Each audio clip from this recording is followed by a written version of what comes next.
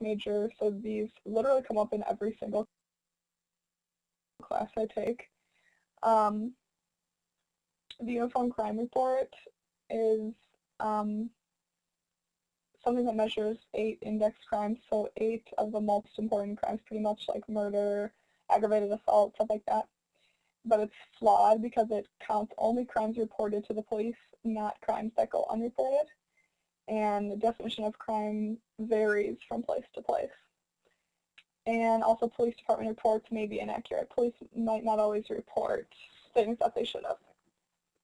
And then NCVS, National Crime Victim Survey.